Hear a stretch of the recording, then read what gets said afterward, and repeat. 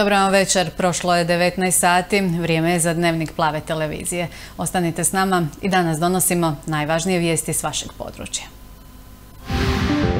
Zbog ostavki polovice vijećnika vlada raspustila općinsko vijeće Gradine. Za povjerenika imenovala Ivana Gojevića iz redova HDZ-a.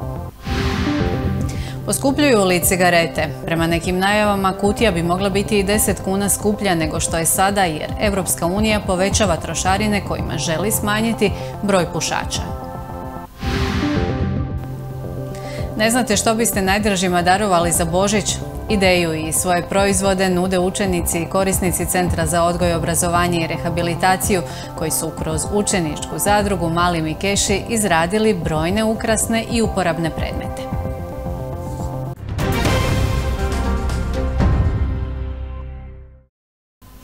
Stanovnici općine Gradina na prijevremene će izbore. Vlada je raspustila općinsko vijeće i za povjerenika za obavljanje poslova iz nadležnosti općinskog vijeća imenovala Ivana Gojevića iz redova HDZ-a. Do raspuštanja je došlo jer je u kolovozu sedam od 14 vijećnika podnijelo ostavke i to šest članova općinskog vijeća s kandidacijske liste domovinskog pokreta te jedan član s kandidacijske liste Hrvatske seljačke stranke. Ostalih sedam vijećnika je s kandidacijske liste Hrvatske demokratske zajednice.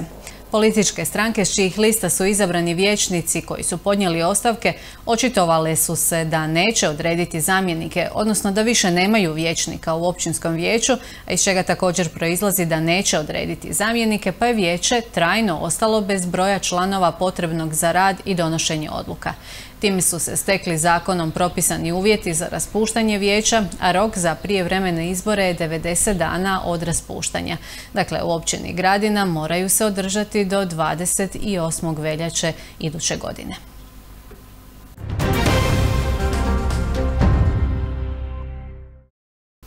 Čini se da stiže novi porezni udar, a ovaj put na meti je duhanska industrija i pušači. Europska unija odlučila je povećati najniže trošarine, što bi se cijenovno najviše moglo osjetiti upravo u istočnoevropskim zemljama. Cijena kutije cigareta u Hrvatskoj trenutno se kreću od 16 pa do skoro 40 kuna, a ukoliko prijedlog Europske unije bude konačan i usvojen, to bi moglo značiti poskupljenje od desetak kuna po kutiji a sve s ciljem smanjenja udjela korisnika duhanskih proizvoda ispod 5% do 2040. godine. Hrvati za sada plaćaju jednu od najnižih cijena po kutiji cigareta u uniji, no čini se da to neće potrajati. Prema najavama, Europska unija odlučila je podići najmanje trošarine s 1,8 na 3,6 eura na kutiju cigareta, što za sobom znači i rast cijena po kutiji cigareta, posebice u istočnoeuropskim članicama. Prestat ćemo pušta. To je navodno neko usklađivanje sa Europskom unijom. Da, da, da, da. A šta možete, tako? Kako su odredili, tako bude i ne možemo ništa. Koliko je to opterećenje za nekakav e, financijski budžet? Pa sad će biti još više. Ovak je bilo dosta, sad je još više. Priča se da bi trebalo poskupiti i 10 kuna po kuti. I još opet poskupiti. Nasradali su pušači onda, boga mi. Mislite li da će to utjecati na smanjenje broja pušača ili će se možda pronaći nekakav način za ile? Ko je pušač i zagriženi, mislim da on da je koja cijena da će on nastaviti. Cijene kutije cigareta u Hrvatskoj trenutno se kreću uglavnom od 20 pa do 30 kuna, a ukoliko prijedlog Europske unije bude konačan i usvojen, to bi moglo značiti poskupljenje od 10 kuna po kutiji. To sam uvijek slabije, te marke. Largo recimo 25 komada je bio 13 kuna kad sam ja pušio. Terećenje je to veliko. Budemo vidjeli kak bude i sve makar dugo pušim, jedno 25 godina, onda je to teško i prestati, ne? To će biti gore nego u Njemačkoj. Koliko sada koštaju cigarete otprilike i... u Njemačkoj? Pa evo ne znam, kod nas ili u Njemačkoj? Pa 5 eura su najjeftinije. Podaci pokazuju da su cigarete unutar Europske unije najjeftinije u Bugarskoj. U Londonu i Dublinu su 15 eura, Parizu primjerice 10 eura. Izvan Europske unije najjeftinije su u Sarajevu i Beogradu 3 eura. S mogućim poskupljenjem u Hrvatskoj bi cijene došle na razinu Rima i Beča. Koja je neka krajnja granica koju ste spremni možda plaćati? Pa do 7-8 eura i to je to. Kakve su bile cijene prije? Koliko je to sada raslo možda u nekih par Poraslo je sigurno za 200%. Pa su malo, malo pa idu gore cigarete. Pogotovo sad kad dođe euro, bit će još gore. A dobro, šta? Onaj koji puši, njemu nije, kako da kažem, skupo. U Europi najmanje puše šveđani, njih 6%, dok je kod Finaca, Portugalaca i Danaca to nešto više. U Hrvatskoj puši 38% građana u dobi od 15 do 64. godine života. Svi oni u velikom su riziku od cerebrovaskularnih bolesti i karcinoma, prije svega pluća i grla. Osjetio sam da mi smeta, da kašljem, da i probao sam poslije opet još zapalit, ali nije valjalo više. Pušači češće idu na bolovanja, znači izostaju s posla, tako da to košta i zdravstveni sustav i ekonomiju, e, ako gledate tih 13 godina što neće raditi. I tako da su ovaj, e, tako da je promocija nepušenja i borba protiv pušenja zapravo najveća ušteda za bilo koju državu i mnoge države se bore protiv toga. Prema istraživanjima, pušači u Hrvatskoj žive 13 godina kraće od državnog prosjeka, a jedna cigareta oduzima 7 minuta života. Porazan je podatak da puši sve više mladih, posebice srednjoškolaca.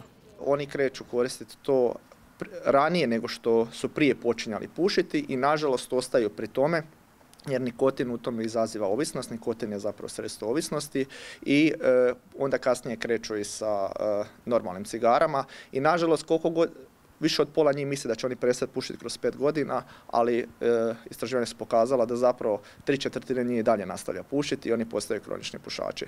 Ovaj za sada neslužbeni prijedlog Europske unije za cilj ima smanjenje udjela korisnika duhanskih proizvoda ispod 5% do 2040. godine, u sljedeće tri godine s 25 na 20%.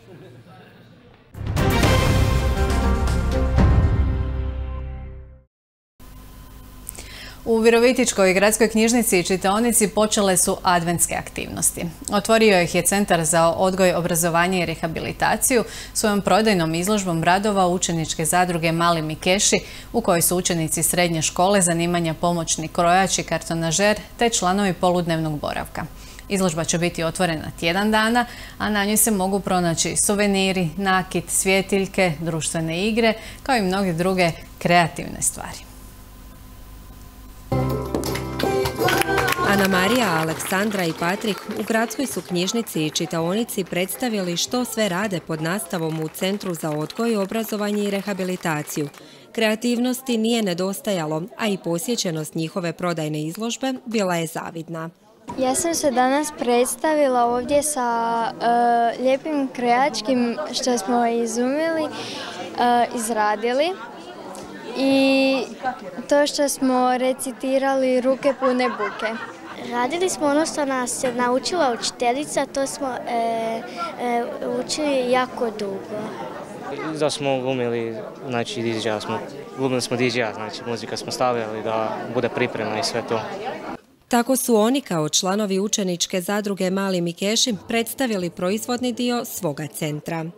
Prvenstveno je cilj bila naša e, izložba da pokažemo zapravo koliko toga mogu naši učenici i što sve, mm, sve zajedno kroz jednu e, suradnju, kroz jednu e, dobro, dobru inspiraciju možemo proizvesti. Radimo puno sa keramikom, radimo, krojimo, šivamo, recikliramo, radimo predmete od drveta, Na štandovima se mogu pronaći suveniri, nakit, svjetiljke, društvene igre, a kako bi proizvodi usluga bili potpuni, učenici smjera kartonažer kupljeno i lijepo spakiraju.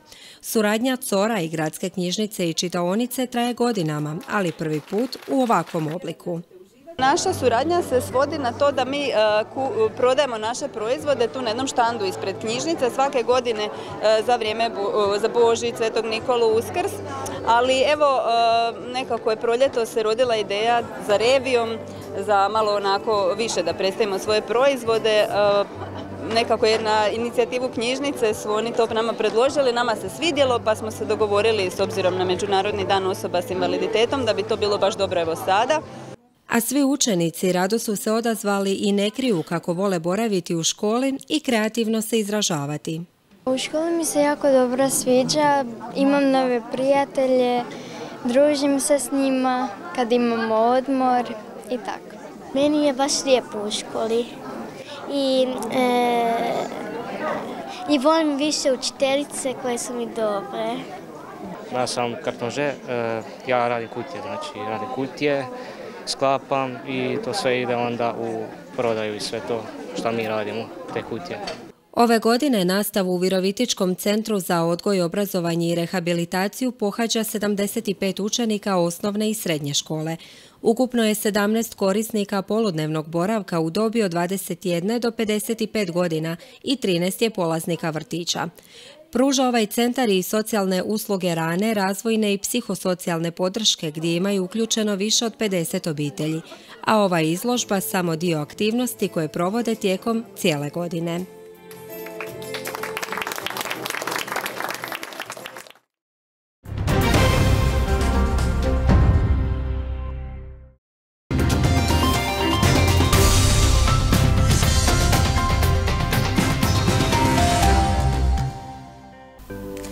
Vrijeme će sutra biti većinom oblačno uz povremenu kišu, često i obilniju na Jadranu i uz njega gdje može biti i izraženih pljuskova s grmljavinom.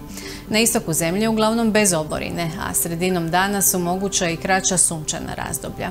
U Goru će još u noći i ujutro biti susnježice i snijega, a uz porast temperature moguća je pojava kiše koja se smrzava u dodiru s tlom. Vjetar na kopnu slab, na istoku ponegdje umjeren istočnim. Temperatura zraka bit će između 2 i 7, još ujutro u gorju niža, a na Jadranu jutarnja od 7 do 12, a najviša dnevna od 12 do 16 Celzijevih stupnjeva. U većem dijelu unutrašnjosti Hrvatske će prevladavati razmjerno nepovoljni biometeorološki uvjeti uz nisku naoblaku. Kod osjetljivih ljudi moguća je pojava glavobolje, lošeg raspoloženja, smanjenje koncentracije i radnog učinka.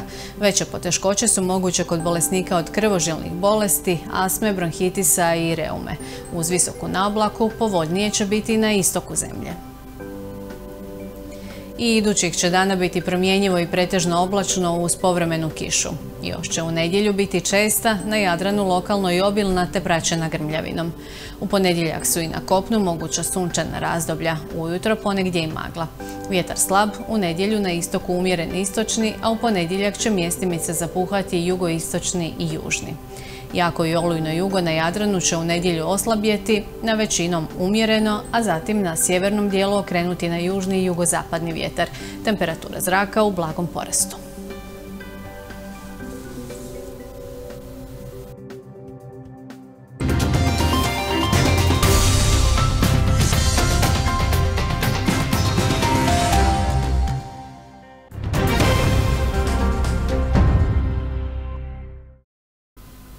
I bilo je to sve za danas. Stigli smo do kraja dnevnika. Hvala što ste bili s nama, poštovani gledatelji. Budite opet u ponedjeljak u 19 sati. Do tada lijep pozdrav i ugodan vikend.